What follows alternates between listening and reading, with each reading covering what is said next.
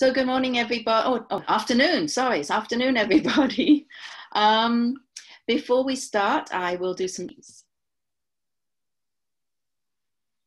So good afternoon, everybody. My name is Sarah Doucette, and welcome to our Zoo View today. Anna will be our producer, and Amy is standing in the rain down at the zoo. So we are, the three of us, are directors of Friends of High Park Zoo, and we are thrilled. This is our first zoo view actually since the zoo reopened to the public. So it's absolutely amazing. Quick update, the zoo is open from 11 in the morning till 7 at night. Please enter by the gates up near the Grenadier restaurant. You go down one side of the, the, uh, the roadway, you turn around, do a U-turn at the bottom, and you can only exit from the same gateway. Uh, we ask people to do social distancing. Masks aren't mandatory, but if it is fairly crowded as it was yesterday, please do um, use your mask. So now I am going to introduce you to Amy, who is at the zoo on this damp day, and she is there with the zookeepers. Amy, do we have any yaks we can talk to today? Over we do. Thanks, Sarah. Um, hi, everyone. My name is Amy. As Sarah said, I'm on the board and we are doing our next zoo view down at the zoo. And actually, a perfect day to do it because people who might have wanted to come out today are a little put off by the rain. So we're bringing the zoo to you at home. And I am here with Sonia, one of our zookeepers, and she is going to introduce us to our resident yaks. So this is Sonia. Good morning. Good afternoon. Good afternoon. All right, so I'll introduce you to our yaks. We have behind me here is Onyx. Um, he is our bull. He is uh, five years old now. He was actually born here at the zoo. And um, as you can see, he's resting comfortably. He's not a big fan of the rain, so he's in there enjoying the quiet as well. And we also have our girl over here. Her name is Aria.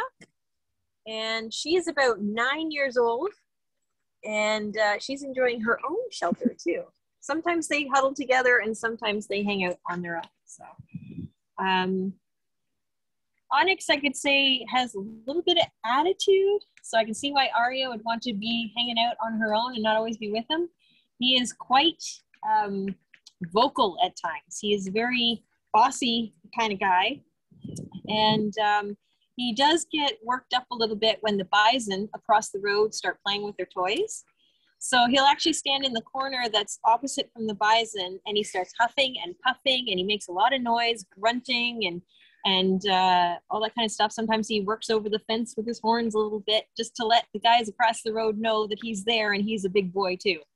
So he does a lot of that. And he also does a lot of talking with his neighbor, Fergus, who is the Highland cow bull.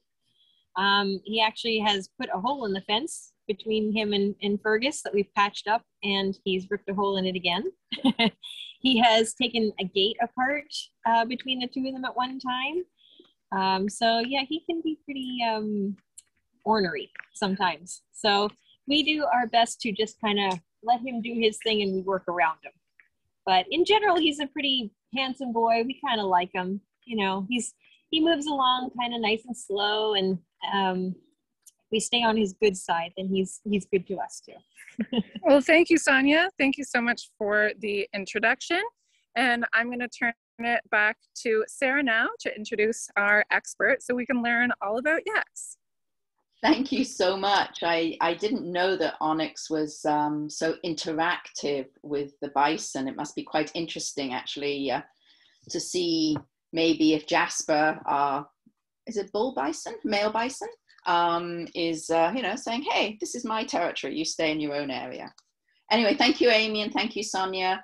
Um, those two shelters uh, were purchased a couple of years ago by Friends of High Park Zoo because the yaks needed more space, and now I really understand why. so thank you. So today we are absolutely thrilled to have with us Dr. Peter Hansen. He is a professor of history and the director of international and global studies at Worcester Polytechnic Institute, located in Massachusetts. In his role, Dr. Hansen's responsibilities include enhancing the curriculum component for the Polytechnic, uh, global programs, exploring new partnerships, um, advising students in global projects. International and global studies bring together the faculties of arts and science and business. And the, the global school uh, to enrich students' experiences of global engagement on the campus and around the world. So today, Dr. Hansen will be speaking about YACs and their importance from the historical perspective. So, Dr. Hansen, thank you so much for joining us. I hope you have a beautiful afternoon where you are rather than a miserable one we're experiencing. Um, I hand it over to you. Thank you very much. I'm delighted to be here, and it's turned out to be a nice sunny day where I am. we were expecting um, bad weather. I'm going to see if I can share a screen, which you should be able to see a um, PowerPoint. If you cannot, someone flag that for me. Nope, we can see it just fine. Excellent, thank you. So, um, as was just said, I want to give you some historical perspective on yaks, and you'll see that some of the characteristics you just heard about for yaks that are at the High Park Zoo are things that have been remarked on for a long time about yaks. Um, here's a, a yak in Nepal, um, and uh, I'll just note these sort of uh, dyed uh, pieces of yak hair that are on the bolt because we'll see this um, a little while um, in other contexts. So yaks have been a, a fascinating creature for people around the world since antiquity. In the third century, Aelian, in a book about animals, uh, a compendium, described a, a plant eating animal with a bushy tail that hides its tail in some thicket faces about and stands waiting for its pursuers and plucks up its courage, fancying that since its tail is not visible, it will no longer be seem worthy of pursuing, for it knows that its beauty resides in its tail. So its tails and its horns and its the character of the yaks have been something people have commented on for a long time. Yak tails, in particular, uh, were status symbols and uh, used as practical objects as fly whisks. Uh, as you can see on the right, there's a two examples of fly whisks from the British Museum. One on the top, a very contemporary one made in the last um, decades. And the bottom, uh, an older one. These are simply used by whoever is holding the handle to flick around their uh, body to move the flies away. Um, on the left, you see a painting uh, from of the Mughal Emperor Babur in the 16th century, who is uh, anointing these yak tails that are on standards, that are on kind of poles that would be taken, uh, carried by uh, an army um, into battle. You can see some of his uh, uh, the the band, the musicians for the army up here on camels and down in the lower left there's a, an ordinary cow um, but the yak tails these were being anointed um, with uh, mare's milk to uh, kind of as a sacramental uh, object that they would carry with them and yak tails were used by the the mongols um, dyed red to or to ornament bonnets uh, hats and or worn off the ears of elephants. Um, this has gone on for centuries. In the 18th century, you really get the classification in uh, kind of Linnaean systems of the grunting ox and Bos grunniens, the name for the the yak formally. And it's most this is Thomas Pennant's History of Quad, Quadrupeds from the 18th century, 1780s remarks on its tails, which are long flowing hairs like that of a beautiful mare, most elegant silky texture, and of a glossy silvery color. And there's one pre- preserved in the British Museum, not less than six feet long. And you can see here's an example, as it happens from the British Museum, of a dyed uh, yak tail. This is the kind that was used where this piece at the top is actually stuck in the ear of the animal uh, and it dangles out and it keeps track of which one's which. The other descriptions of the yak by Pennant describe their fierce nature. And this was, I was reminded of this listening to the uh, uh, zookeepers talk about your current yaks who have a fierce nature, they said, particularly when irritated at the sight of red or any gay colors.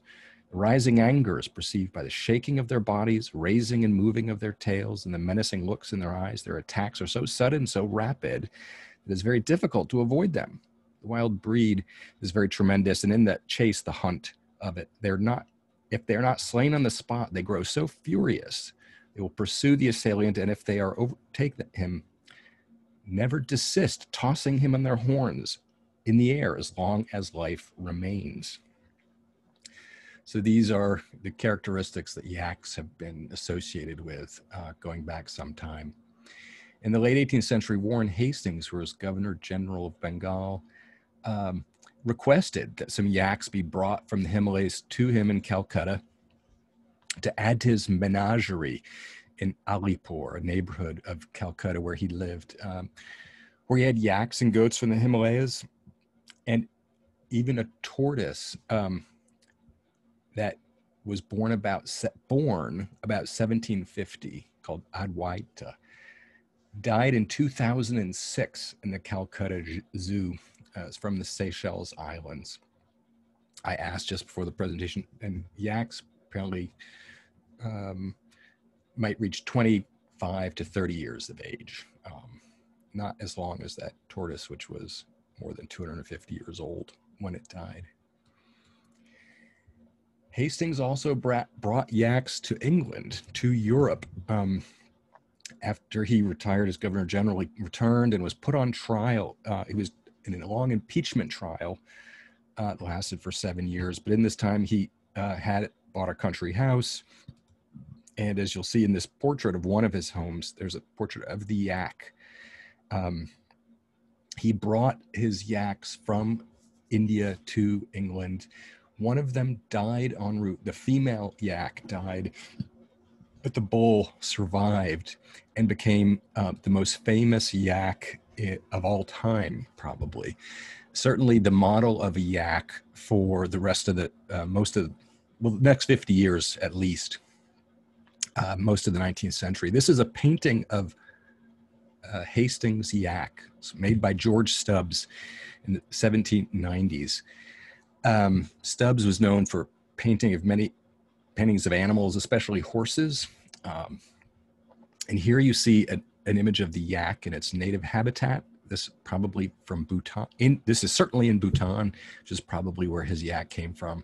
This is the a known place called the Palace of Great Happiness, in Bhutan, and you'll see just under, sort of underneath the nose of the yak, the Bhutan turnip, which uh, Hastings admired very much and brought with him back to England and to cultivate in his English garden. This yak uh, had its image in prints and circulated widely. The the portrait, the painting was copied uh, by Stubbs and exhibited in Leicester Square in a Cabinet of Curiosities and Museum. But this this yak was also well known because when it returned to, or not returned, when it was shipped to England, it uh, was missing its uh, the female yak and it had a nail in its horn that when it was in the same enclosure as a horse, um, it actually gored the horse um, because it got angry at the horse. And so th- from then on, the yak was kept in separate um, enclosures from all the other animals. This was the beginning of many yaks in many zoos and many um, yak enclosures um, in Europe, especially in Paris at the uh, um, Jardin d'Acclimatation, um, the zoo in the Bois de Boulogne, uh, where there are still, I think, some yaks in their exhibits. There was a group of 12 yaks sent from China to Paris in 1854. These are probably some of those. Antwerp had a very large yak enclosure. This is from the 1880s. and so it's um, some of these yaks were sent to the Alps to try to acclimatize them for agricultural use, uh, which didn't work that well. Um, the yaks are then really kind of domesticated in the European imagination. Here's a, a poem about the yak from Hilaire Belloc's Child, The Bad Child's Book of Beasts. The yak. As a friend to the children, commend me the yak. You will find it exactly the thing. It will carry and fetch. You can ride on its back or lead it about with a string. Hopefully these uh, sketches come out in on the sharing of the screen on Zoom. The Tartar who dwells in the plains of Tibet, a desolate region of snow, has for centuries made it a nursery pet, and surely the Tartar should know. Then tell your papa where the yak can be got, and if he is awfully rich, he will buy you the creature, or else he will not. I cannot be positive which. So the yak becomes the standard figure in the, you know, Y is for yak type genre of the children learning their alphabet uh, by the turn of the century, and it is used in military uh, places in um, in the Himalayas, which has happened, you know, for for quite some time. The British invasion of Tibet in 1904 is, though, uh, infamous for its use of yaks. They invaded with about 3,500 and they added another thousand yaks while they were in Tibet, but the British did not provide any forage for them. And uh, Tibet is a fairly uh, arid uh, environment, not much food to forage on your own. So when the expedition ended, they had fewer than 200 yaks in their body, which in the bottom of the screen says Percival Landon, one of the people involved, was one of the dreariest histories of the waste of animal life and military records. After that, though, the British learned how to use, how to provide forage, and uh, yaks served uh, as the beasts of burden on all of the Everest expeditions from the 1920s and 1930s uh, through, that went through Tibet and helped them to reach base camp, to um, reach the higher elevations. Um, Tenzing Norgay and Edmund Hillary complete the first ascent of Everest in 1953, which is notable in this context because Tenzing, who was from the region around Everest, had been a yak herder as a young boy. Um,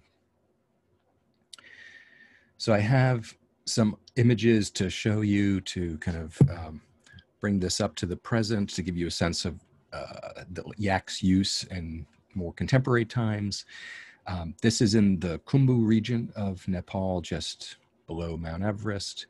Um, and these are yaks carrying um, local goods really from one city to another. They're mostly used though to carry the goods, the bags of the tourists, of the trekkers, the climbers. And these are yaks in Namche Bazaar being loaded up with the duffel bags of uh, a trekking group that I was in. Um, and each bag is put in these little uh, sacks. So, because I was told um, if you just put the bag straight up on the yak, it smells really like the yak, uh, like yak hair. Um, and this way it protects it, keeps it a little cleaner. And this is loaded and unloaded every day as you journey through the area. Um, forage, since I mentioned it before, is intriguing because here you actually have a person who's carrying the hay that's the food for the yaks. Um, and the trekkers carry their day pack, something that carries what they need for the day, and the yaks carry the um, the larger bags. Here, a couple of yaks are going slow across this bridge, holding up the group, and you have the forage being carried again by person and in part here uh, by yak. Um, as you go up towards uh, closer to Mount Everest, the yaks are still the main um, way that all the all the supplies go in, uh, and you're on the same track. The yaks pretty much just follow the path. There's a, somebody who's helping keep them to the path, but more or less they find their way on their own as they go up um, higher into the mountains. Daily, you get this unloading, unloading. Um, and as you get closer and approach base camp, here's a, some yaks coming back with goods, leaving there, and others coming in to the uh, cirque that's for base camp. And there, here you can see some goods coming in. The tents, um, the, the climbers then leave from this point and go up to the right, up the Khumbu icefall. And here are like uh, gas containers for cooking. Everything goes in or comes out, including all the human waste on the back of a yak. Um, here's some coming out, leaving, and I'll just leave us with whoops this uh, final shot of the Khumbu Glacier as uh, you can see the string of yaks coming in um, with all the goods and materiel that are needed. And here we are back at the High Park Zoo with our, uh, I assume this might be Onyx, who is uh, an impressive yak that fits the image that we've learned about yaks for the last couple thousand years. With that, I'll stop sharing and um, can have take time for questions or discussion. There may be ways to ask the uh, zookeeper something through Amy, but thank you very much. Thank you so much. I I guess, I mean, I see you know documentaries on um, climbers going up Mount Everest, but I'd never really thought about how everything got there. I thought the Sherpas were carrying everything, but actually it's the yaks carrying, which makes much more sense. It's both. I mean, as you could see, there were some people carrying things in one of the shots. I didn't dwell on them, but um, yeah, for anything heavy, it's um, in larger groups. The uh, the yaks are carrying it all because it's uh, cheaper. But they have it, you reach a certain point, and they have to carry all the food for the yaks up with them too. Yeah, true, true.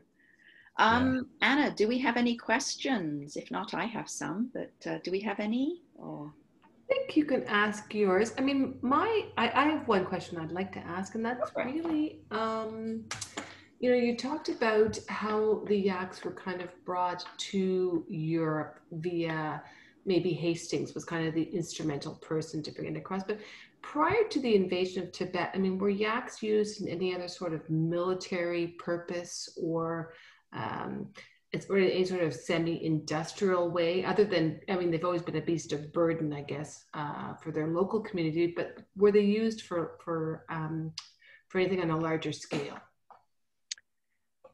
Um, within the himalayas yes. Outside of it no. I mean um, the kind of uh, himalayan trading that is people taking goods across the mountains that would have happened on the backs of yaks um, but it's in smaller groups than the Younghusband expedition that we made into Tibet or the Everest expeditions in the 1920s, uh, which are going for long periods of time and bringing a lot of stuff with them.